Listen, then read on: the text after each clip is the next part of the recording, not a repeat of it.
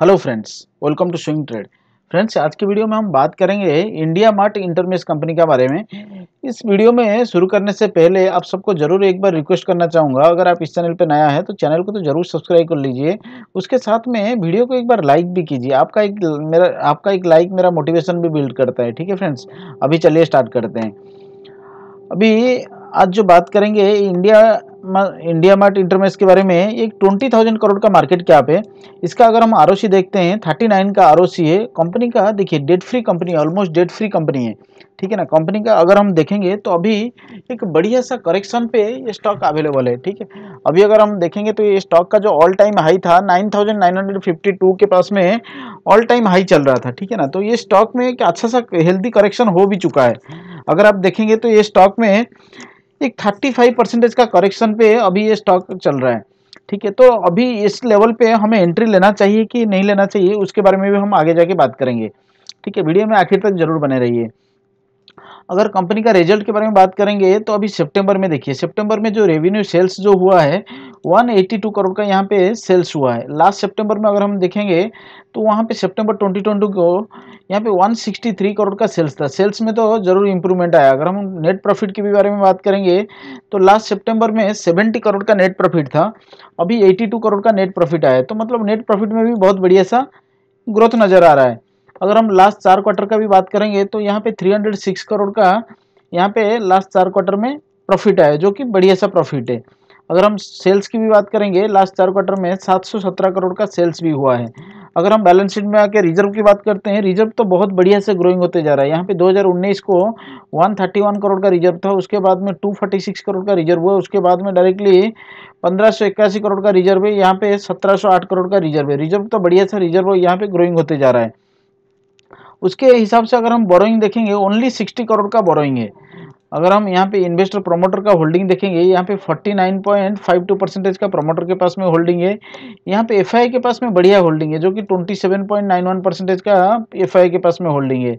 जहाँ पे डीआई के पास में 4.68 परसेंटेज का होल्डिंग है पब्लिक के पास में 17.16 परसेंटेज का पब्लिक के पास में होल्डिंग है। यहाँ पे पब्लिक के पास में अगर देखते हैं, यहाँ पे 17.16 परसेंट में से यहाँ पे three one three point five percentage है, यहाँ पे वो है, ये तो सब प्रोमोटर में चले जाएँगे, क्योंकि वन परसेंटेज से ज़्यादा का स्टेक है इनके पास में। तो यहाँ पे एक अच्छा सा प्रोमोटर होल्डिंग है, यहाँ पे एफआई का भी बढ़िया सा होल्डिंग है स्टॉक में। अगर हम यहाँ पे आज का दिन का कारोबार देखेंगे स्टॉक में कितना परसेंटेज डिलीवरी उठाया गया है स्टॉक तो पहले बढ़िया सा टू परसेंटेज यहाँ पे इंप्रूवमेंट दिखा रहा था, जब ओपनिंग हुआ ओपनिंग हुआ यहाँ पे 6660 पे, और स्टॉक यहाँ पे आज का हाई जो लगाया है 6733 पे। तो यहाँ पे एक अच्छा सा उछाल आया था, उसके बाद में जब क्लोजिंग हुआ, यहाँ पे 53 पॉइंट के साथ में क्लोजिंग हुआ है मतलब point eight two percentage negative return रहा है आज के दिन में। अगर हम यहाँ पे डिलीवरी परसेंटेज की बात करेंगे आज के दिन में one lakh fifty thousand quantity यहाँ पे ट्रेडिंग हुआ है। यहाँ पे डिलीवरी उठाया गया है thirty eight thousand quantity delivery उठाया गया जो कि ट्वेंटी फाइव परसेंटेज का डिलीवरी उठाया गया है इतना ज़्यादा तो डिलीवरी स्टॉक में आज नहीं उठाया है। लेकिन अगर स्टॉक में बात करेंगे, आज मैंने स्टॉक में भी कुछ यहाँ पे डिलीवरी में बाय किया हूँ, ये स्टॉक में। तो उसका रीज़न भी मैं बताता हूँ। देखिए फ्रेंड्स अगर हम देखेंगे स्टॉक में, जहाँ पे हम सपोर्ट की बात करते हैं सपोर्ट टूट गया सपोर्ट टूट गया, यहाँ पे बहुत बड़ा गिरावट आ सकता है।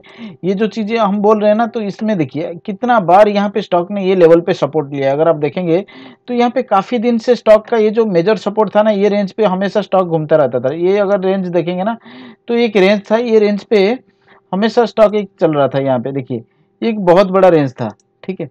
ये रेंज पे देखिए, कितना बार स्टॉक ने इसी रेंज पे चला है। तो इस हिसाब से ये एक बढ़िया सा बाइंग जोन था। अकोमलेशन यहाँ पे बहुत बढ़िया से अकोमलेशन चल रहा है।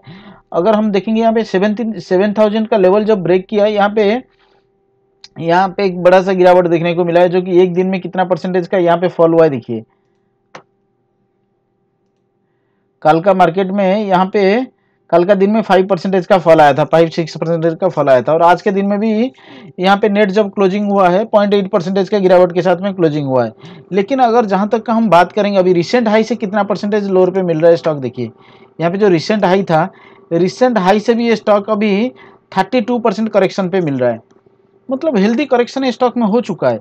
अगर हम ऑल टाइम की यहाँ all time high all time की बात करेंगे तो यहाँ पे देखिए ऑल टाइम हाई से स्टॉक में एक थर्टी फाइव परसेंटेज करेक्शन हो चुका है, एक बढ़िया सा स्टॉक है, जहाँ पे बिज़नेस क्वालिटी ज़बरदस्त है और जहाँ पे कोई प्रॉब्लम नहीं है तो ऐसा स्टॉक में है, हमें बिल्कुल एंट्री लेना चाहिए। अभी देखिए आरएसआई का लेवल भी देख लीजिए।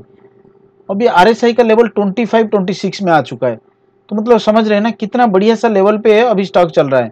तो ये जो लेवल होता है ना, ये हमारे लिए बहुत बढ़िया सा अपॉर्चुनिटी लेके आता है। ये सब लेवल के ऊपर अगर हम देखेंगे ना, अभी बाई करेंगे ना तो हमें अभी लॉस नहीं होगा। जहाँ पे लॉस की बात हो रहा है कि स्टॉक यहाँ पे ब्रेक तोड़ मतलब यहाँ पे सपोर्ट तोड़ चुका है, ये जो बातें चल रहा है तो इस हिसाब से, मेरे हिसाब से जब हम स्विंग ट्रेड की बात करते हैं या तो फिर लॉन्ग टर्म इन्वेस्टमेंट की बात करते हैं, ये सारे स्टॉक में अभी इमीडिएटली एंट्री लेना चाहिए। ठीक है फ्रेंड्स अगर आप इस लेवल से भी आप बाई करके चलेंगे ना तो आपको ऑल टाइम हाई तक रखते हैं ये स्टॉक को। आपको कितना परसेंटेज का प्रॉफिट मिलता है देखिए फ्रेंड्स अगर आप अभी ये स्टॉक में पोजीशन बनाते हैं, अगर ऑल टाइम हाई तक स्टॉक में पोजीशन बना के रखते हैं, आपको 53 परसेंटेज का गेन मिलता है फ्रेंड्स अगर आपको एक साल भी लग जाए, कोई बुरा नहीं है 53 परसेंटेज का गेन है, ठीक है? और जहाँ पे बाइंग की बात हो रहा है, हमने तो इस लेवल पे बाय करके रखे हुए हैं। ऑलरेडी हमारा टू थ्री मंथ्स हो चुका है। लेकिन यहाँ तक आया था, लेकिन मैंने प्रॉफिट बुकिंग अभी भी नहीं किया हूँ, क्योंकि मेरा टारगेट प्राइस जहाँ पे था, यहाँ पे मैं ऑल टाइम हाई तक स्टॉक को लेके चला था, जो कि नाइन थाउज़ेंड नाइन हंड्रेड तक का।